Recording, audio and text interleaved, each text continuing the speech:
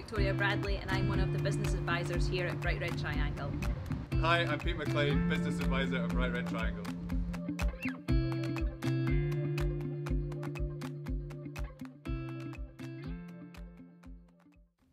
So Pete, tell me about your entrepreneurial journey. God, it feels like forever ago. Um, we were here, Napier University, as a fourth year student. Uh, decided to come up with the idea to sell Scottish food around the world. So took that idea to the Moffat Centre, which is now Bright Red Triangle, um, and got things going and, and actually started selling produce from my bedroom. So it feels like a long time ago. What about you? Yeah, so I think I always knew I wanted to run my own business, but I never really knew how it was going to happen.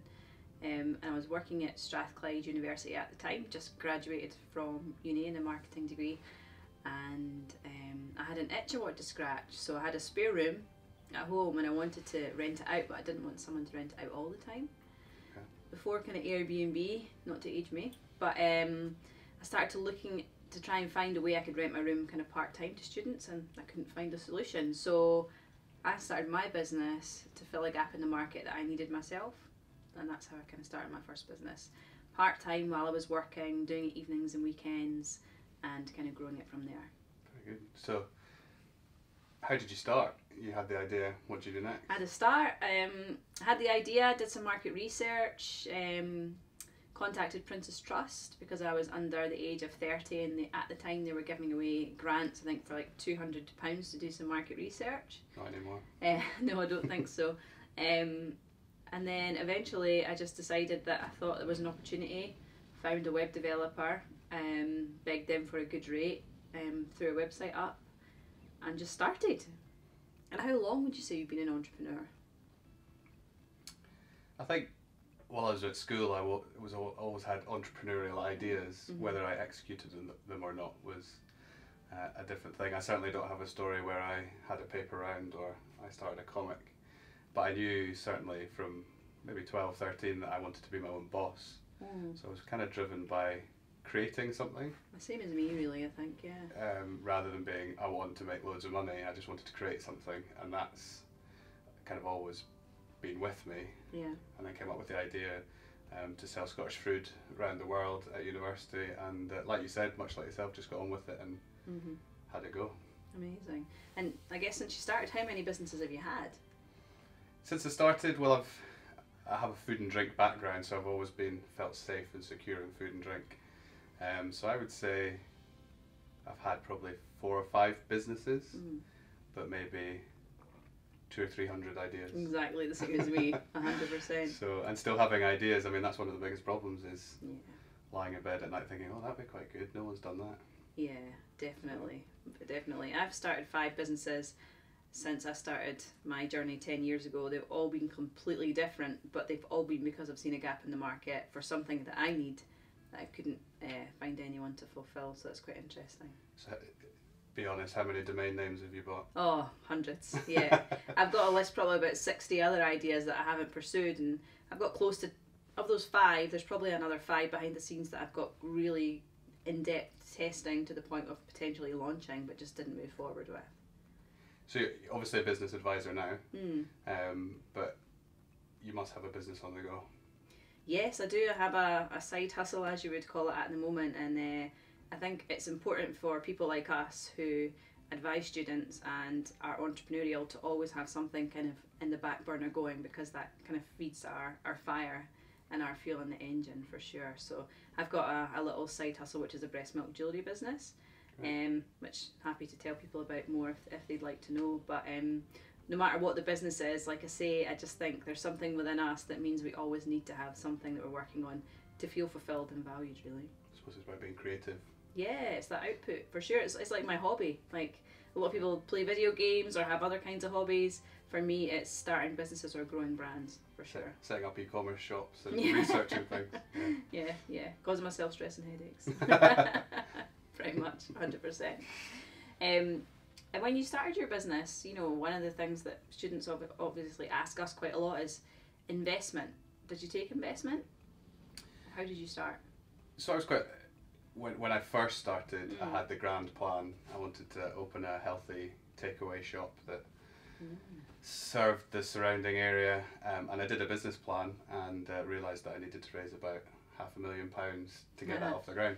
And quite often that's the stalling point for someone. It's like, Mm. well, I'm never going to raise half a million. Um, so actually, I just worked it backwards to see where I could start to then set that as a goal to, to raise money. So when I started, it wasn't, I'm not going to start until I get half a million pounds. It's like, how can I reach that goal maybe in a year or two Mm, years' time? mhm. So that's why I went right back and I could afford to buy a few of the Scottish produce products and produce Mhm. and start from there. And actually just started from my bedroom at home, uh, still in my parents' house, and, and Mhm. bought jams and Yep. chutneys and chocolates and uh, sent them out from from my bedroom ultimately. And um, I think when pallets of food started arriving on the front doorstep and I didn't have a forklift, I think that's when my folks started to say, you know, you need to maybe maybe move out. Yeah, about time. So- You know, thinking about it, I've started a business. Each time I funded it completely differently. Okay. So the first time I funded it with a Prince's Trust loan for about twenty thousand pounds, which I'd recommend people really think about before they do it, because I'm still paying that off now. Yeah, because a lot, well, a lot of people when they go for money You've think I have a limited company, Well, it's not going you to come help me. you know you in your head it's going to work. It's not Yeah. even a consideration that it won't, which is amazing. But also, if it doesn't, you're left picking up the pieces. Um, second business, I won a lot of competition budget funding um, through Scottish Edge, so I got about fifty k from Scottish Edge. Wow. So that kind of funded business number two, and then I had a, a friend, shall we say, that um, pumped some money into the business that really believed in me. Okay, you still friends? No. That's a story for wine. Um, the third business, we found a partner who aligned with what we were doing and they put investment into the business. So that was actually an equity investment. Um, and um, this current business, I am just funding myself. so when you were raising money externally, what kind of things were they asking for? I mean, that's a question as a business advisor I get all the Mhm. time: is do I need business plan? Do I need forecasting? Do I need to pay lots of money with an accountant? What kind of things? Were I mean, yeah, they for? wanted to see the business plan, but to be honest, they were buying into us and our vision and our energy. The most important for them was the financial forecasting, because obviously they were giving us, I think it ended up 30k investment they gave us, and then they gave us access to their uh, facilities uh, to produce the product and their expertise as well. And we were able to use their um, um, chief financial officer as well to, to run our numbers past. So it was absolutely financial forecasts. Uh, we aligned with the business, we were a good culture fit, and they just loved our passion. But at the end of the day, putting 30k of their own money into the business, they had to know that they were going to get returns. Okay. Was it stressful? It was stressful, but I don't know, we found the right partner, so it was much easier than I expected. With the previous business, um, the co working space that I ran, I chased a lot of investment, I did a lot of pitches, and I was looking for like 100k, 150k equity investment, and I never found it, and that was extremely stressful hmm compared to um, this business, which uh, in which we just found a partner who aligned with our goals, and we offered them a way to grow, and they offered us a way to grow, so it really complemented each other. Yeah, for sure, that was really good. What do you think is the hardest thing about being an entrepreneur? Hardest thing about being an entrepreneur. One of the things I suffered from probably the most was um, it being quite lonely. Mm-hmm. I think at the beginning, like you, like all guns blazing, you've got lots to do. You're the most Mm. confident person in the world. Um, but as you take your business into year two, year three, and hit different problems, even when you have employees, it is quite lonely. Yeah. Um, and you're making those decisions by yourself, or if someone's not paying you. You know all the difficult things when you're running a your lot own of business. pressure. Huge pressure, and Mm. I almost, I'm quite, I find it quite easy to compartmentalize most of the time. Mm.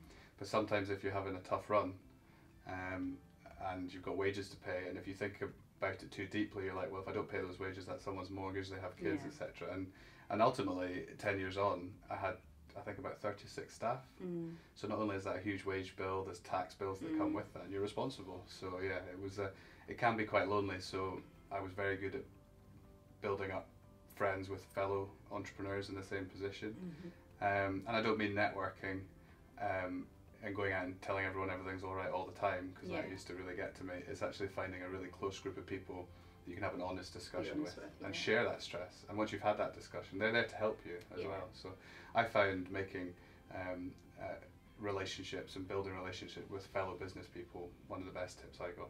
Yeah, for sure. It's yeah invaluable just to kind of find your tribe of people that are going through And- the same thing as you. And ultimately, that's how we probably first met. Yeah, that's true. we both true. had were running our own business at the Mm, same time, mhm. and we met through PSYBT. Yeah, And we used to have a supper club where we all used to meet just a small group of people and, and share the issues, and yeah, that was hugely valuable. yeah. That was very valuable.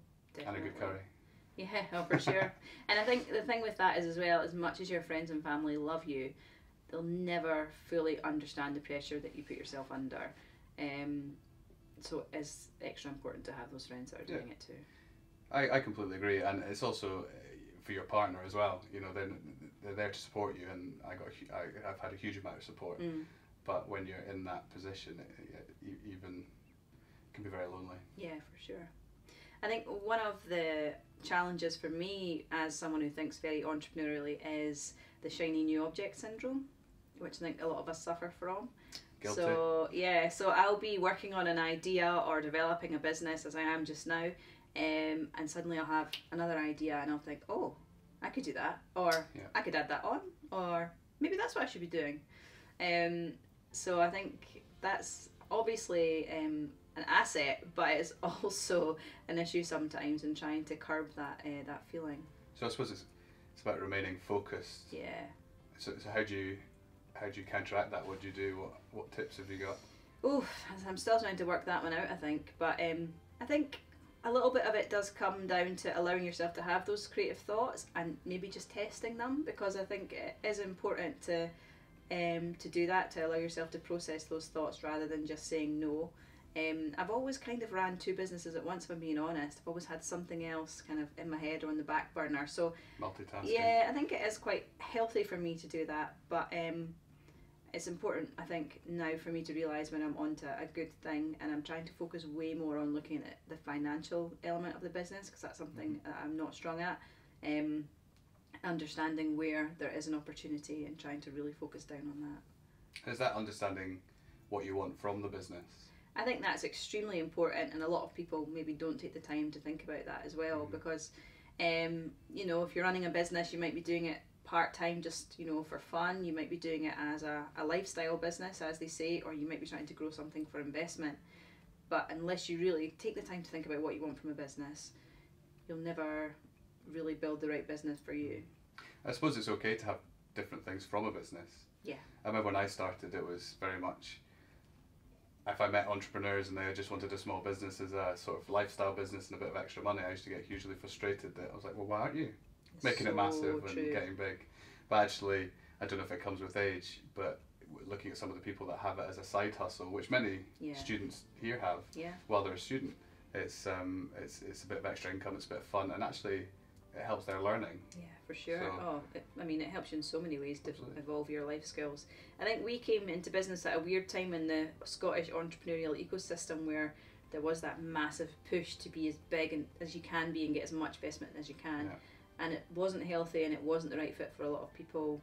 Um, and people were steered in the, the wrong direction. But I'd like to think, as business advisors, now at least we've had that experience and we can help people to really shape the kind of businesses that they want around the life that they want as well.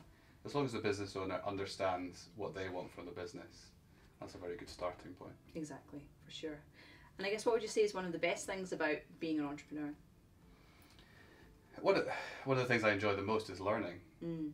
Um, and I think that comes back. Like obviously, I'd like to be rich and make lots of money, uh, but I, I really enjoy the learning process. Yeah, So again, it's, it's it's about here's a challenge. How can I try and fix that challenge, or how can I solve that problem? Mhm. And then going out and trying to find how you can do it. And it's it's even as you know, it, I'll, I'll try and teach myself a little bit of coding, or I'll try and Yeah. find a platform that can make it more efficient. But also on the other side of that, I would say uh, recognize your own skills. Sure. Um, if you get to a certain stage and you're spending every hour of the day trying to code a website, yeah, outsource it. yeah. You know, your time is your time is the most valuable thing. But I really enjoy the learning process. Yeah, I think entrepreneurs are naturally just problem solvers. That's what we are, for sure. I mean, for me, the thing that I think I enjoy most about entrepreneurship is seeing something go from zero to one So Mhm. it's that, like you say, a little seed of an idea, and then you growing that from that seed to getting your first sale or your first 10 sales. It's just an incredible feeling to feel that you've made that happen. Um, I love brand building and developing brands and stuff like that, as you know. And um, it's just incredible to see where you can get to in three months, for example. Absolutely. Yeah, for sure. And I guess then finally, you know, we've got lots of students that we work with. There's lots of people within the university that we haven't worked with. What would you say to those kind of people who are thinking about entrepreneurship or kind of think they want to be an entrepreneur? Like, what? what what I would say to someone that's thinking about be- becoming an entrepreneur is c- come and see us. You know, you have ideas um, at any time at university, but you also can come and see us without an idea. Yeah. Um, and another important thing is don't worry if you've come to us with an idea before. Mm-hmm. Um, I, I've sort of discovered that over the last couple of years is people are sometimes maybe a bit embarrassed to come back. It's like I saw them, I had this idea, I didn't do anything with it. Yeah. Uh, I can't go back to them. It's quite embarrassing. Absolutely not. We, we all have tons of ideas all the time. They don't work out, and might might be your third, fourth, tenth, hundredth idea that Yeah. works out. So so our doors are always open. Yeah, I think testing is just is the key really. You know, you feel like you want to be an entrepreneur, you've got an idea, just start like testing things. You know, don't be scared to ask people for their opinions, to just test the market, to do the research. Uh, and just a little bit of iteration each week or each day can really get you to a good point. Um, I love discussing ideas with students, like you say as well, like just having a general chit chat around Yeah. a subject and feeding in. That's like what we live for. So, yeah, Absolutely. I mean, absolutely, doors are open all the time for that kind of thing. Well, it was good to know more about your journey, Pete, Yeah, it's uh, it's always great chatting to fellow entrepreneurs. for sure. Time for Sure. some lunch. Absolutely. Let's go. Let's do it.